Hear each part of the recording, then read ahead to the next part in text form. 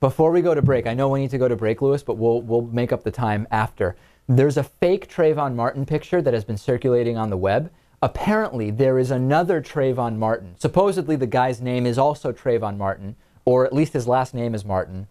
Or honestly, maybe his name is not even Martin. But this picture began circulating, claiming to show that Martin was a uh, less than nice guy. You can see the real Trayvon Martin on the left and the alleged Trayvon Martin on the right, holding up, uh, you know, uh, uh, two middle fingers, which are blurred out, and looking in a way that apparently the source of this picture, it, which seems to be white supremacist website Stormfront, created. So it seems that, according to Streetwise Pundit, which is a liberal, liberal blog, uh, the widely circulated fake Trayvon Martin picture originated on the white supremacist website uh, Stormfront.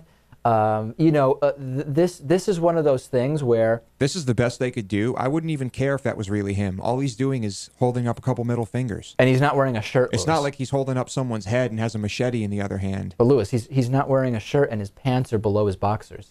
Do you realize how dangerous he looks? This is the best they could come up with, really.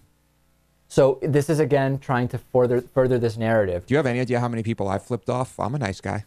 and sometimes you take your shirt off. That's right. Yeah. Yeah.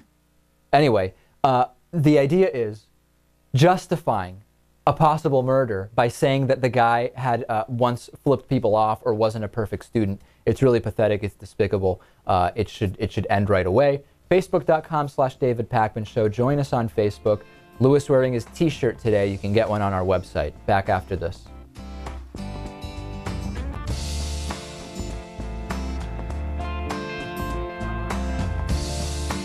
The David Pakman Show at davidpakman.com.